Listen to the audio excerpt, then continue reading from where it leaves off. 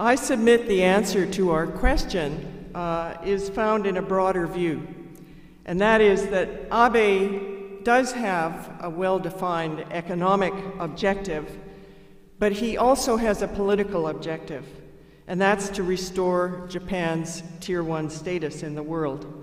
And that objective, depending on how he pursues that, uh, can undermine or contradict uh, the first objective.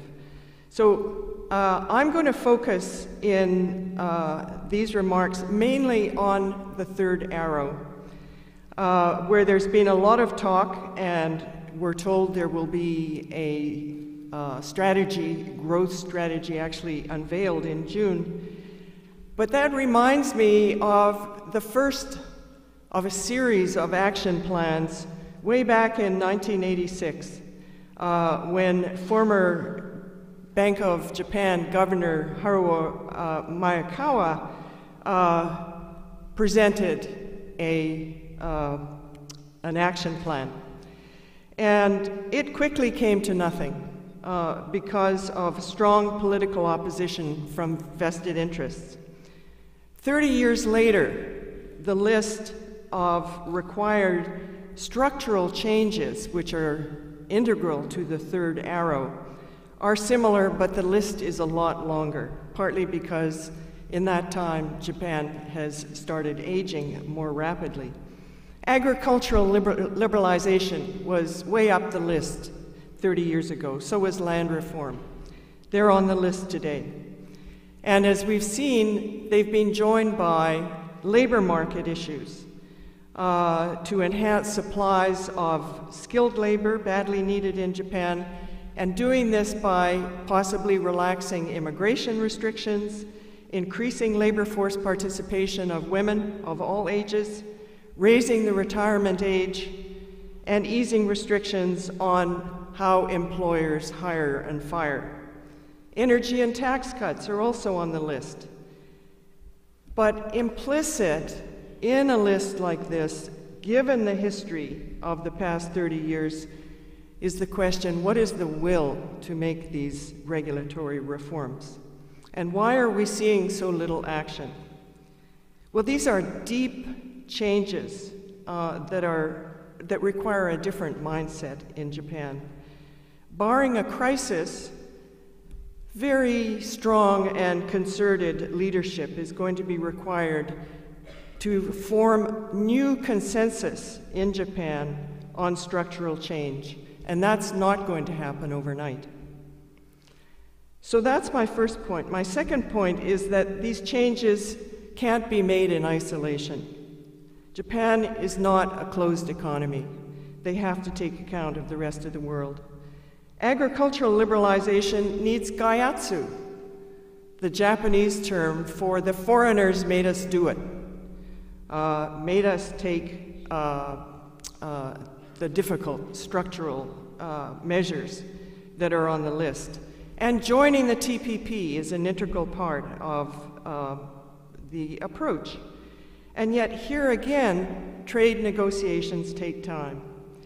I think expectations were fairly high uh, that President Obama's recent visit to Japan would make a breakthrough in agricultural liberalization. Uh, it didn't happen. Why? Because President Obama is having trouble, that's no problem, uh, is having trouble gaining the congressional authority uh, to conclude and close uh, the TPP, seal the deal. So, why change in Japan if you don't have to, at least not yet? So, the story is uh, still unfolding on uh, the linkages between Japan and the rest of the world. The final point I want to make is that TPP or not, Japan's long term growth also depends increasingly on deepening economic linkages, particularly with Asian neighbors. 18% of exports go to China, 21% of imports come from China. South Korea is the third largest export market after the United States and a third of the stock of foreign direct investment held by Japanese companies is in Asia. Now, Japan's firms have pioneered the regional production networks, as we all know, and these increasingly tie the region's economies into deepening interdependence. So, Abe's political agenda, with its nationalist overtones, is alarming the neighbors and has threatened to undermine his economic goal and increasing Japan's long run uh, potential. So, I would just close with the observation that Japan is a major power. Often it doesn't think of itself as one, but is beginning to again. And as such, its leaders have a special responsibility for collective stability. The deep uh, economic interdependence is a constraint that rational decision makers should recognize and that should temper uh, a strategy like the one of the three arrows. And so, to summarize, I would simply say that there's high determination in Japan to change the uh, consensus, to change states of mind that are certainly needed, as I've argued, uh, with increasing recognition about the interdependence between the economy and the rest of the world.